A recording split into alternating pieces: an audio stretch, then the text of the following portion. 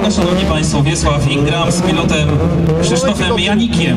Debut podczas 34. rajdu warszawskiego w Renault z Marcinem Olszewskim. Kolejny start do 40 czwarty rajd Krakowski.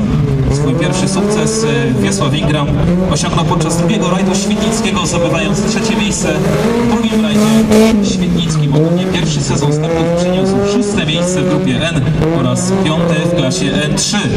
Kolejny sezon zakończony na dziesiątym miejscu w grupie N oraz dziewiątym w klasie N3.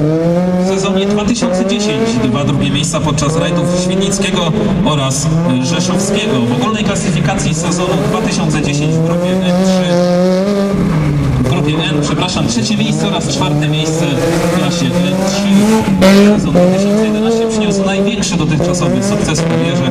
Zwycięstwo w końcowych klasyfikacjach grupy N i klasie N3. Natomiast ostatni sezon 2012 to drugie miejsca w klasie N i w klasie ósmej.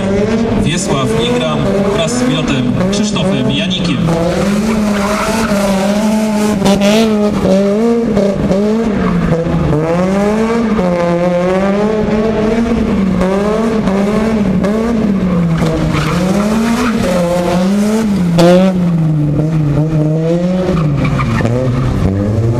Szanowni Państwo, Wiesław Ingram z